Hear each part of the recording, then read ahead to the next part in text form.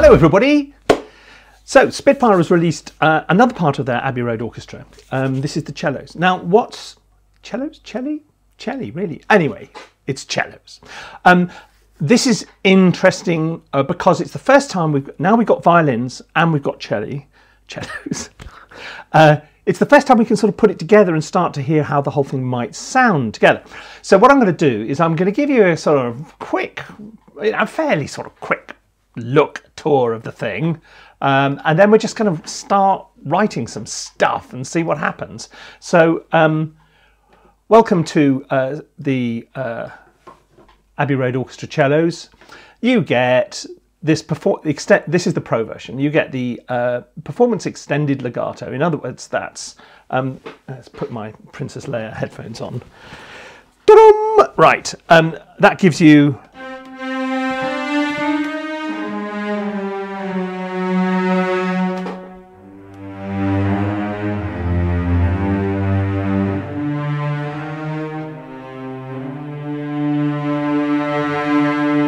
gives you the velocity control different starts, so you can have a more assertive one or a and it switches by velocity through the several different types of um, legato which are built into that. Oh.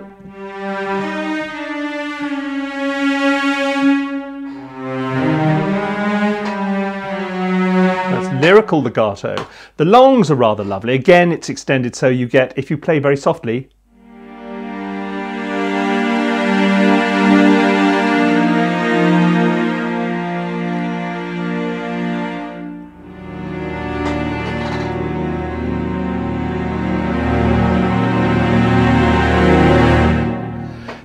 if you play softly, you get this soft attack, and if you play harder, you get a hard attack.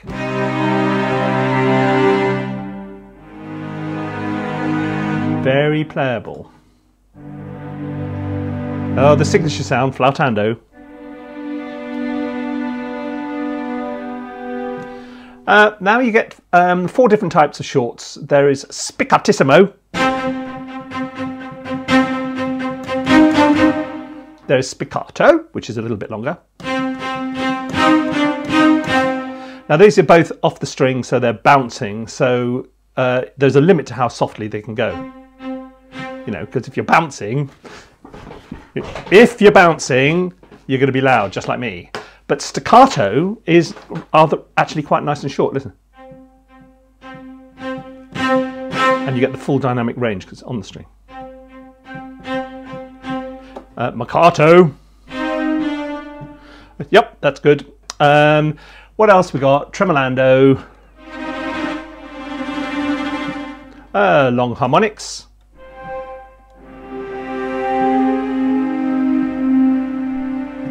Uh, pizzicato with snap pizz on the top velocity. I told you it was a whistle stop tour. Col Legno. Ooh, I like that. Uh, lots of trills, minor second. Major second, happy days.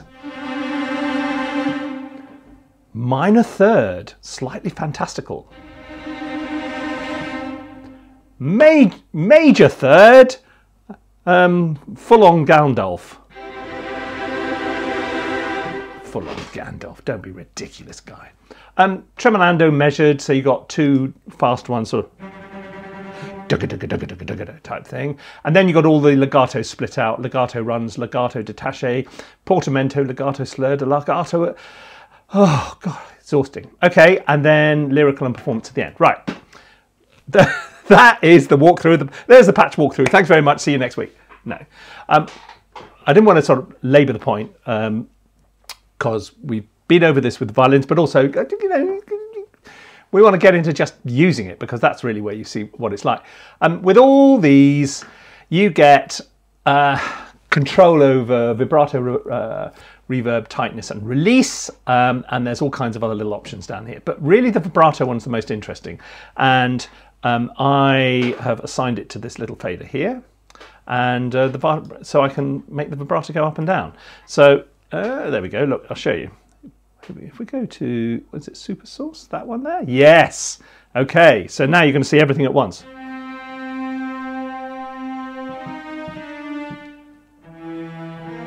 Oh, hang on.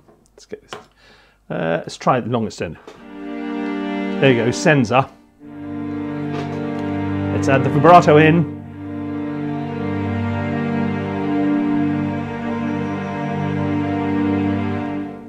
I rather like that. Okay, enough of all this faffing guy. Let's get right in. Okay. I've got to have an idea now. Hang on. Okay. Yeah. Right. Thanks very much indeed, Muse. That was my muse just coming through with an idea for me. You've got to get one of these. They're just great. You know, really, really useful. When you're sitting there going, oh, I don't know what to do, you just get a muse along and they'll kind of get you going. Right. Um, what the muse suggested was uh, that, oh, where's it gone? How can, oh, that's annoying. It's just on the gap between uh, two pages. Oh, no, there, two. there we go, two screens. Right, we're going to start with, now, I'm going to start with a, I'm going to start with a short.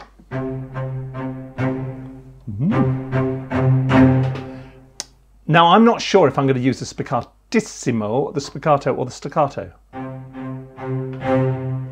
Uh, I just don't know yet. Let's start with the spiccatissimo. I think that's what most people would sort of kick off with.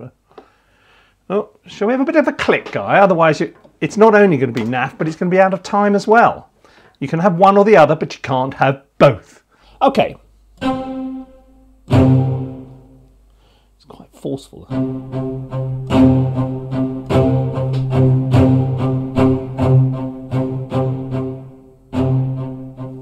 It's, okay, let's see how we get on.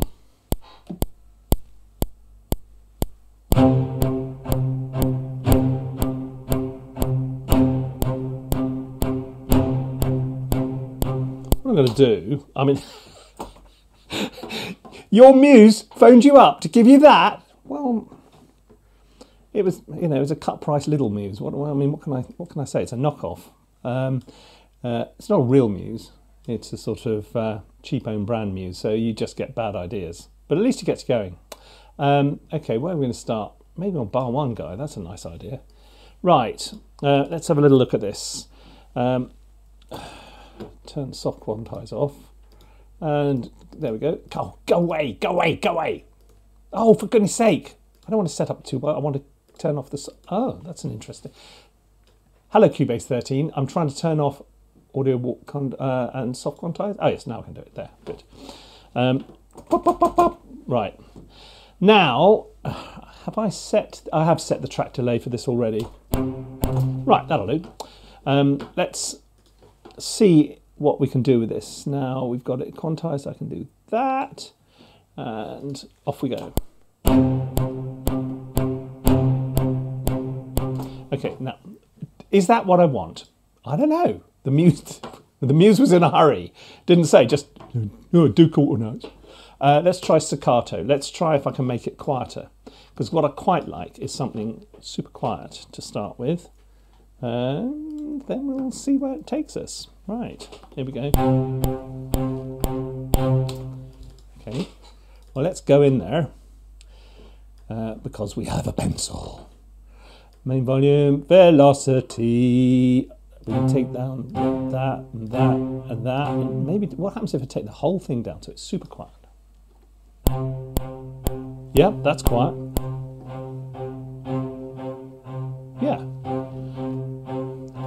Thank you. Yeah. I think so. Oh God. The trouble is I'm using too many different DAWs at the same time at the moment, so I keep on forgetting what I'm what I'm supposed to be doing. Ah! Help! What's going on here? Why can't I go? Why?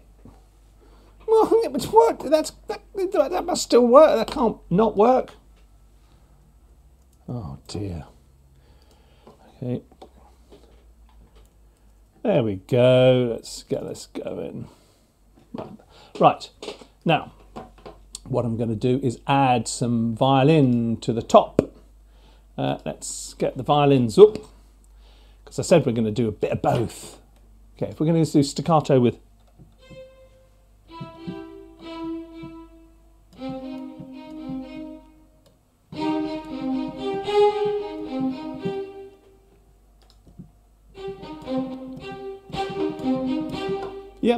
I'm going to stick with spiccato for this one.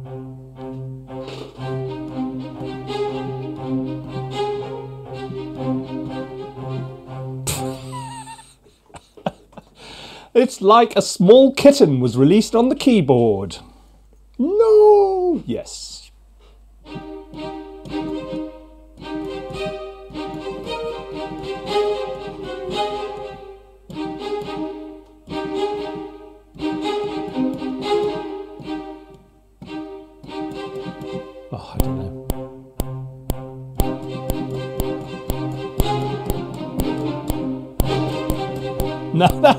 Terrible. That's really, it's worse than where I started.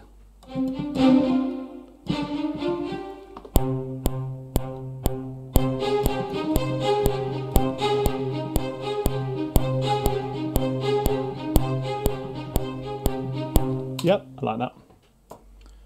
Do I like it really? No, I'm just saying I like it to keep the muse happy. I'm sorry, you're not supposed to be listening in. You can't threaten to resign just because I'm nasty to you. Go back to Lidl. Where was I? Right, okay. Okay. So we got a bit of a violin going on there, and we got a bit of a uh, a bit of a sort of very basic cello thing going on underneath. Uh, it's going to be a bit of a string extravaganza. What else is going to go on down here? I think there's. Are we going to start with a long lyr lyrical line, or are we going to start with some chord?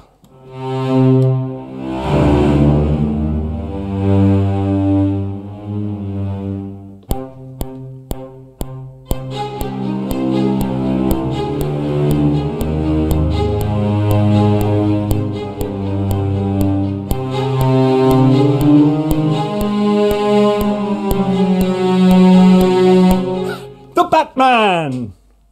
Go away, guys. Start again. It's all right, Hans. It's all right. It's all right. I'm not going to do that. Call the lawyers off. Thanks. Bye. That phone going all day long. Right, where were we? Uh, okay, tell you what. Now's a good opportunity to little have a look at some mic positions. Mic position. Uh, legato. That's long extended. Oh, I left it on long extended. No wonder it sounded a bit strange. Okay, here we go. Up come the mic positions. We're going for mic two at the moment, uh, which is the slightly more present one. Let's try mics one, which is the uh, more ambient one. But it's still loading. Don't be impatient, guy. But I'm a naturally impatient person. Oh, you get a nice bit of room there. I tell you something. Um, I've recently got um, some fantastic new Adam speakers in my main studio, uh, which uh, you know, and on that subject we will return. Um, and when I've been playing Abbey Road in the main studio, you can really hear uh, the quality of the recording. Uh, it's class and it's really really nice. And I'm not getting that on my headphones to be honest, and you're probably not getting that via YouTube, but yeah, it sounds a business. Okay, back to the records. Right, let's get rid of. Um, mix 2 is a goner. You're dead to me, Mix 2, you're dead to me. Okay, and back to performance legato. Now, play something really moving and exciting, guy.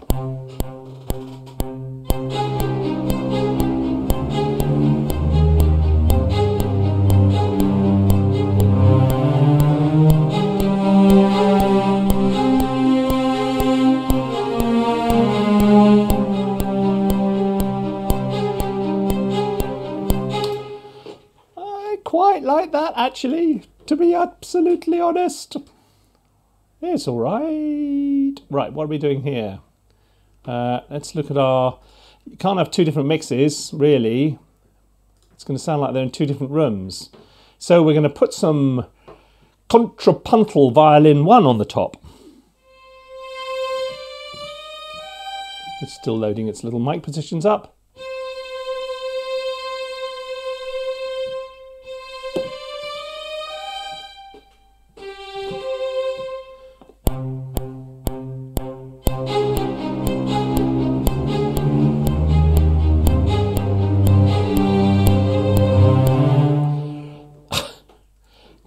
In when you like, Guy. Well, I will. It's my piece. What, what piece? It's a piece now, is it? It could go the opposite direction. That's not your worst idea you've ever had. And you did it without your muse.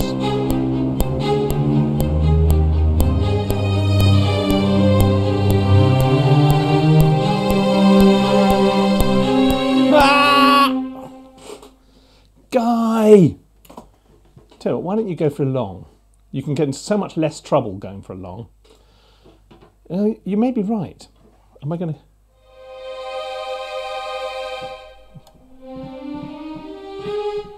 Okay, so what am I going to.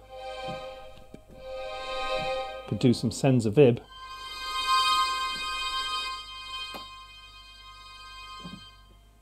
Hmm.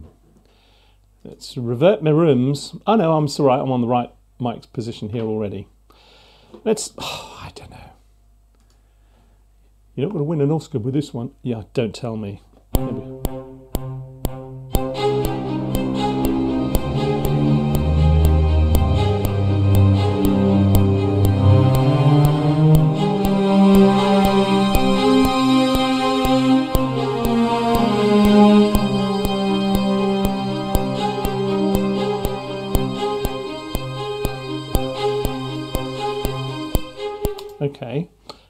Something's going on here. Uh, this is where you get tempted to start throwing in the kitchen sink. So that, um, uh, do we really want to throw the kitchen sink in? Was that Wayne from Bradford saying yes? Yeah, but Millicent from Miami says no. Sorry, Wayne. Um, right. Let's try swapping over to a bit of a pizz moment here. Oh, oh, oh God. That is why I'm not that keen on having. Uh, oh God, look at that! Look at that guy. Oh, honestly, you can't blame the samples for some naff playing. Um, no, but I'm not that keen on having the um, snap pizz and the top velocity of the uh, ordinary pizzicato. To be honest. Okay. What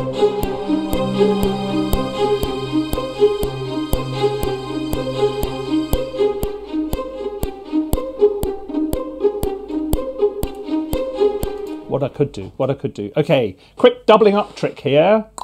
Boing! Um, what you can do, copy it to another track, and then move it by a 16th note uh, to the uh, let's get get me my zoom going on. So it's yeah, just into there, then remerge it back, and then you've got it going right. See if that worked.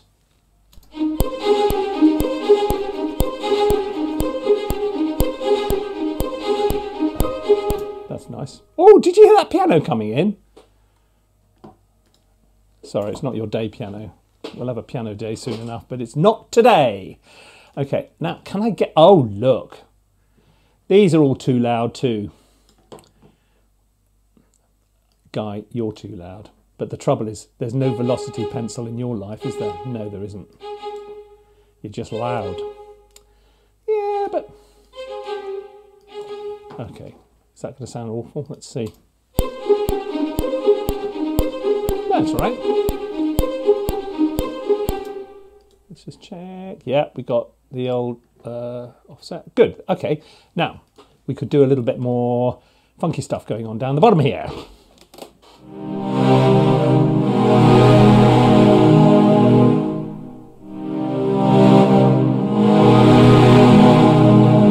I do like these cello longs.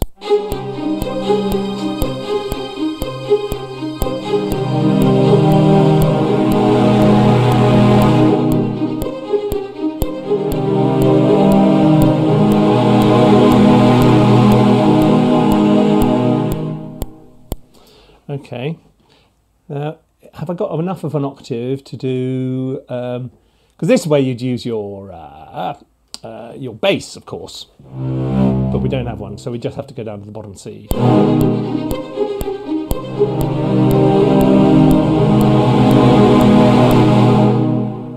Helps, Guy, if you actually move with the rest of the orchestra. Oh, of course it does.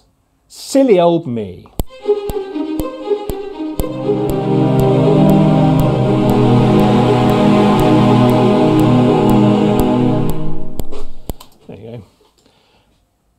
So I had to go up an octave because it couldn't go. You can't go down a bottom C to a bottom D, because, a B because there isn't one. It's a goner. It doesn't exist. Um, right. Uh, what do we think? Okay, look. Uh, is there anything else I can throw into this? Oh, yes, there's tons of things you can throw into this.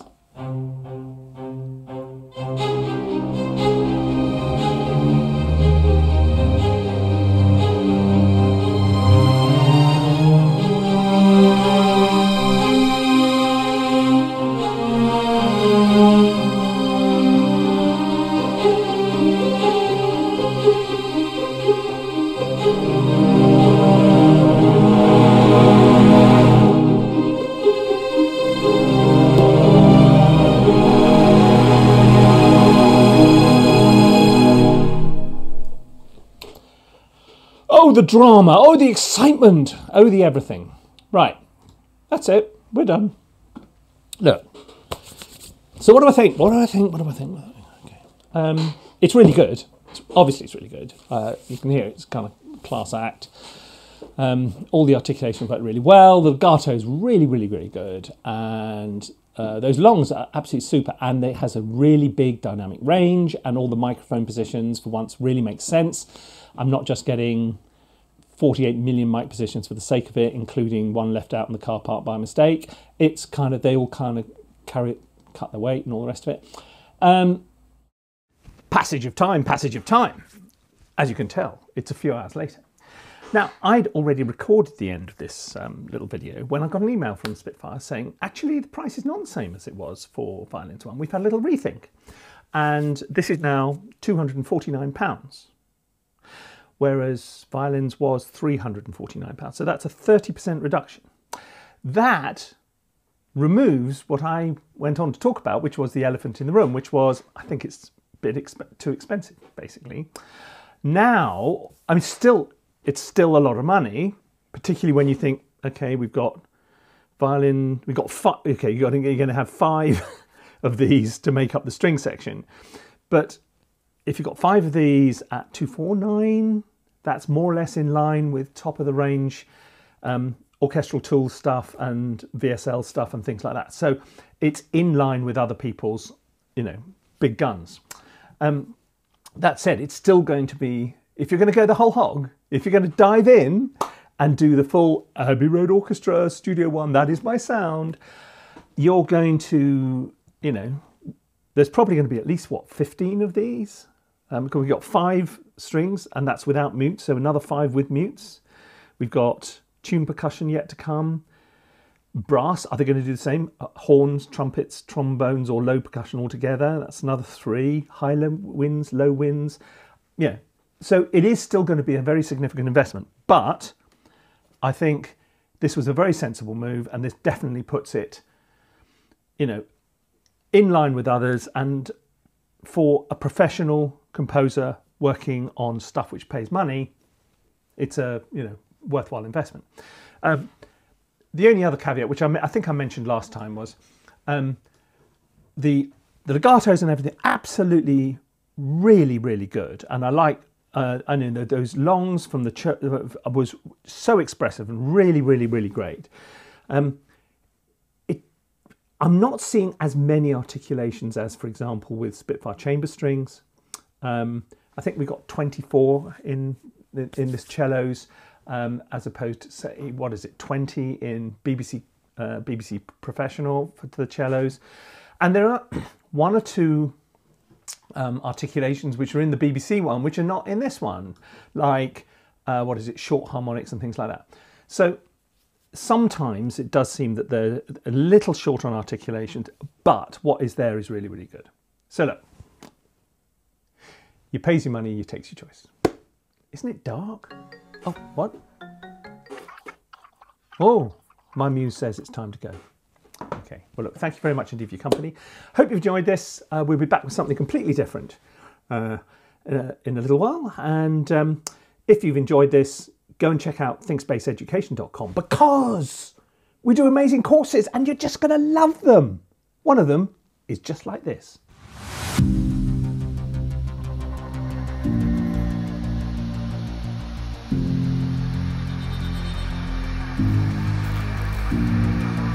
Is there a gap between that? There's always gaps. You need to have gaps wherever you can, just so that an editor can come along with their scissors and go, right, cut, cut, cut, cut, cut, cut. And frequently, editors will piece your track together with some other track from a different publisher. You have to give them as many options as possible.